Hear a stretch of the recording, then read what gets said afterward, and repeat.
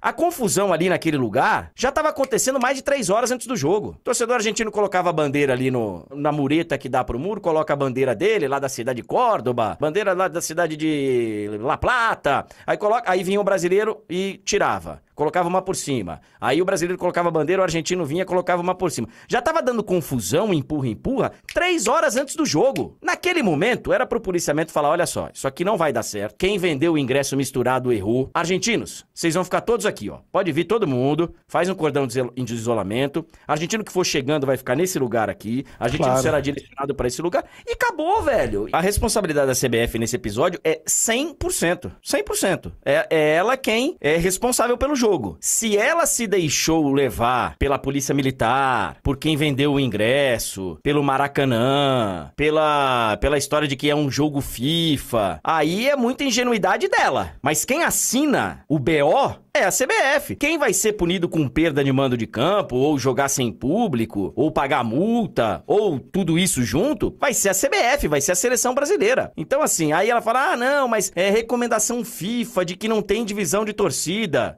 Recomendação FIFA, então eles que façam o jogo. Porque a gente sabe que não dá para colocar brasileiro e argentino num momento desse. Acho que em momento nenhum deu e nem vai dar, mas enfim, na nossa geração, Chico, não tem como você colocar num Brasil e Argentina Argentina, campeã do mundo, Brasil num momento como esse, você colocar os torcedores misturados. A responsabilidade é 100% da CBF.